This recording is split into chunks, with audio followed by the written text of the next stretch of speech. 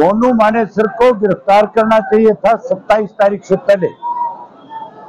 जब उसने दो नौजवान बच्चों को ज़िंदा जलाने का काम किया था एनएलओ नेता अभय सिंह चौटाला ने अनाज मंडी नोह में सद्भावना सम्मेलन को संबोधित करते हुए कहा है कि मोनू मानेसर को गिरफ़्तार 27 जुलाई को ही करना था या उससे पहले करना था, जब उसने दोनों जवान बच्चों को ज़िंदा जलाने का काम किया था। सरकार की ज़िम्मेदारी उसी दिन बनती थी कि उसको गिरफ़्तार करते। अभय सिंह चौटाला ने कहा कि अगर उसको समय रहते गिरफ़्तार कर लिया जाता तो आज मेवात में इस तरह की घटना सामने नहीं आती। अभय चौटाला ने कहा कि आज मेवात के लोगों को सद्भावना की ज़रूरत नहीं पड़ती। उन्होंने कहा कि आपका भाईचारा और मज़बूत रहता। सरकार ने जानबूझकर षडयंत्र के तहत उसको बाहर रखा और उसी की वजह से ये सारे प्रदेश व मेवात के हालात खराब हुए इनलो नेता ने कहा कि आप हिंदू हैं, बहुत सारे हिंदू साथी आज रैली में आए। अगर हिंदू मुसलमान में कोई विवाद होता तो आज आप यहाँ नहीं होते। विधायक अभय सिंह चौटाला ने कहा कि यह करवाया गया था, यह षड्यंत्र था। मुख्यमंत्री आएगा तो पूछना, कि आपने कहा था कि यह षड्यंत्र है तो षड्यंत्र करने वालों के नाम आज तक उजागर क्यों नहीं किए गए? विधानसभा में चर्चा क्यों नहीं कराई गई? विधानसभा के अंदर चर्चा करने से सरकार क्यों भागी? अभय सिंह चौटाला ने कहा कि इसको इसको पहले गिरफ़्तार क्यों नहीं किया गया? आज गिरफ्तारी करके कहीं ना कहीं मरहम लगाने की कोशिश की जा रही है। आपको बता दें कि अभय सिंह चौटाला ने कहा है कि गठबंधन के बारे में 25 सितंबर के बाद पता चलेगा। अभी बहुत समय है, अभी कुछ भी कहना जल्दबाजी है। उन्होंने कहा है कि कांग्रेस के नेताओं को भी 25 सितंबर की रैली में निमंत्रण दिया जाएगा। जब अन्य दल के लोगों को बुलाया गया है तो कांग्रेस को बुलाने में क्या हर्ष है? इनलो नेता ने कहा कि चौधरी देवीलाल का जन्म दिवस है। इसके ऊपर चौधरी देवीलाल के प्रति जो भी श्रद्धा रखता है, जिन्होंने अपने जीवन में उनसे सीखने की कोशिश की है, उन सबको निमंत्रण दिया गया है। सब लोग आए। अदालत में पेश करने की तैयारी है क्या आपका बयान मोनू मानेसर को गिरफ़्तार करना चाहिए था 27 तारीख से पहले। जब उसने दो नौजवान बच्चों को ज़िंदा जलाने का काम किया था सरकार की जिम्मेवारी उसी दिन बनती थी कि उसको गिरफ़्तार करते।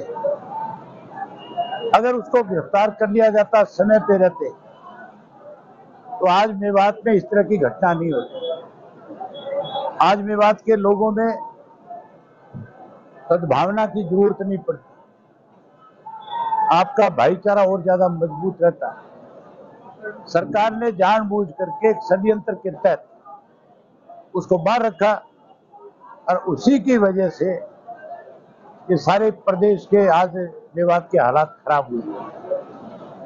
आप हिंदू हैं बहुत सारे हिंदू साथी मुझे बैठे नज़र आए। अगर हिंदू और मुसलमान में कोई विवाद होता मेवात में में, में विवाद होता तो आज आप यहाँ नहीं होते। ये करवाया गया था ये षड्यंत्र था मुख्यमंत्री आएगा तुम्हारे यहाँ पूछना उससे कि तने ये बात कही थी कि एक षड्यंत्र है। तो षड्यंत्र करने वालों के नाम आज तक उजागर क्यों नहीं है? विधानसभा में चर्चा क्यों नहीं कराई? विधानसभा के अंदर चर्चा कराने से सरकार क्यों भागी? और इसको पहले गिरफ़्तार क्यों नहीं किया? आज गिरफ्तारी करके कहीं मरम लगाने की कोशिश कर रहा है। जब उनको इस बात का एहसास हो गया कि तुम्हें मेवात में पैर रखने की जगह नहीं मिलेगी, तब कहीं ना कहीं उंगली कटा करके शहीद होना चाहते हैं। लेकिन मेवात के लोग ऐसे षड्यंत्रकारी लोगों को कभी माफ़ नहीं करेंगे। अभी समय है ये 25 तारीख के बाद पता चलेगा क्या होना है। अभी बहुत समय इस पे कोई भी बात करना जल्दबाजी। क्यों नहीं देंगे कांग्रेस को निमंत्रण? जब हमने बाकियों को बुलाया है तो कांग्रेस को बुलाने में हमें क्या है? ये चौधरी देवीलाल का जन्म दिवस है। इसके ऊपर चौधरी देवीलाल के प्रति जो भी श्रद्धा रखता है जिन्होंने अपने जीवन में उनसे सीखा है उन सबको निमंत्रण है तो सब लोग आए। पच्चीस की रैली में कितनी भीड़ इकट्ठी हो सकती है? कौन कौन से बड़े आपको सबको निमंत्रण है। आप आना। लाखों लोग होंगे कोई अंदाज़ा नहीं होगा कोई गिनती नहीं होगी। कौन कौन से बड़े नेता आपका?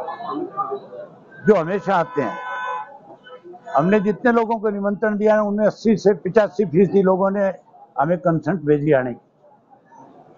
उनमें नीतीश कुमार जी है लालू प्रसाद यादव जी हैं उद्धव ठाकरे जी हैं उसके साथ साथ डॉक्टर फारूक अब्दुल्ला है सीताराम येत्री है जयंत चौधरी है हनुमान बेणीवाल है सतपाल मलिक साहब है अनेक लीडर हैं। बड़ी आप आओ तो सही।